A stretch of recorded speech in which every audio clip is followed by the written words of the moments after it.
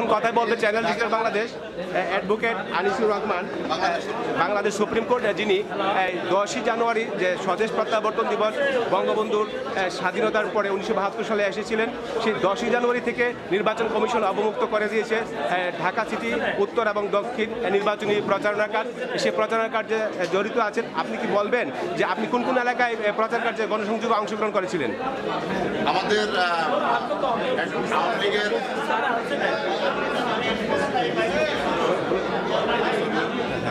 আমাদের কাজী নজিবুল্লাহ হিরু স্যার আওয়ামী লীগের আইন সম্পাদকের নেতৃত্বে ঢাকা আইনজীবী সমিতিতে পাঁচটা টিম করে দেয়।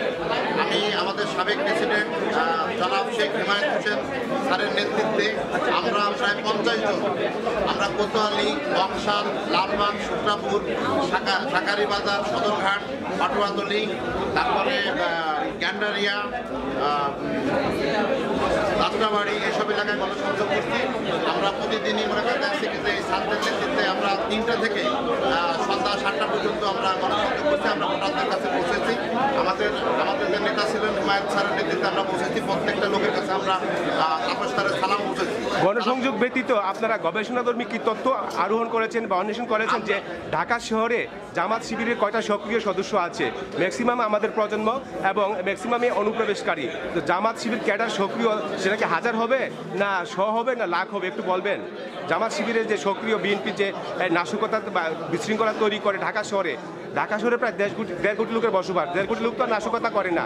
গুটি কয়েক জামাত শিবির। আপনাদের এই আইনজীবী টিমের মধ্যে আপনারা এই ধরনের কোনো গবেষণা বা তথ্য অনুসন্ধান করেছেন কিনা? আমরা যেভাবে মাঠে ছিলাম, তাতে আমাদের মনে হয়েছে ভোটাররা ব্যারিস্টার তাপসকে, জননেত্রী শেখ হাসিনার আজকে শক্তিশালী করার জন্য আমাদের যে মানে প্রার্থী, ব্যারিস্টার শেখ মুজিবুর তাপস, অত্যন্ত সৎ এবং যোগ্য প্রার্থী হিসেবে ভোটারদের কাছে মন্ডিত হয়েছে।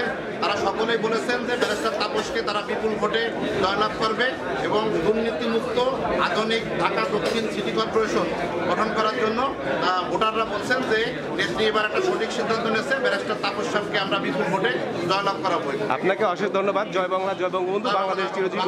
বঙ্গবন্ধু আওয়ামী আইনজীবীর এই টিমের গণসংযোগ সফল হোক। সার্থক হোক। আল্লাহ হাফিজ। আল্লাহ হাফেজ।